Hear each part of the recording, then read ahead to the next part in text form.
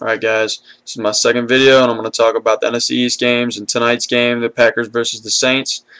On Thursday Night Football, 8 o'clock. Things should be interesting. I think uh, the Green Bay Packers are going to take the Saints. I think they got head and shoulders over everybody else in the NFC. Um, game's probably going to be high scoring even though the Packers got a good defense. Uh, probably going to be 24 to 27 I'm going to say. My score the Packers are going to win. Um, yesterday I was talking about the Cowboys injuries and I found out that Mike Jenkins and Tyron Smith both have both have um, hyperextended knees. Um, good news is Mike Jenkins did practice today even though he doesn't look like he's going to play Sunday.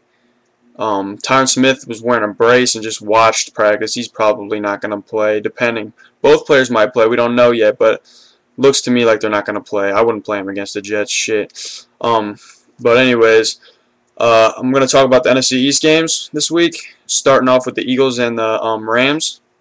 Uh, I think that the Rams are a good young team, a good young quarterback, but I still don't think they're going to compete with the Eagles. Um, the Eagles are probably going to pass all over that crappy defense of theirs, and um, Steven Jackson is probably going to have a good day against the run since the defensive line of the Eagles is real small. But I expect them to get a lot of pressure on uh, Sam Bradford.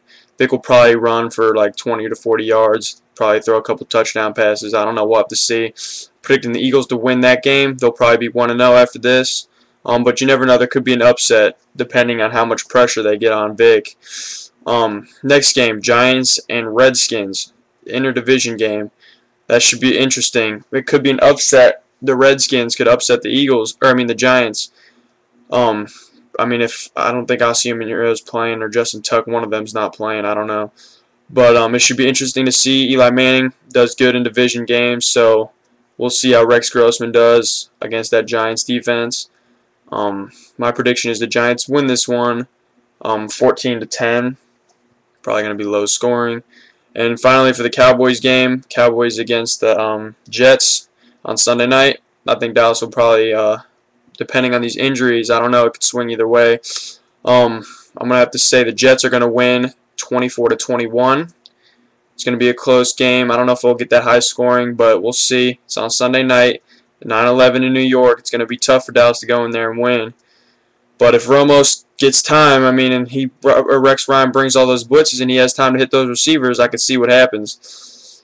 Um, but yeah, that's basically what I think is going to happen this week and the game tonight. Uh, hopefully nobody gets injured. I mean, shit, football fucking blows when quarterbacks like Tony Romo get injured for the whole fucking season. But we'll see what happens. Um, I'll probably the next video I'll make will probably be after the Cowboys game, after all the Sunday games. We'll see what happens. Um, good luck to those NFC teams. I'm hoping that the Redskins beat the Giants. Actually, be nice, but we'll see what happens. All right, guys.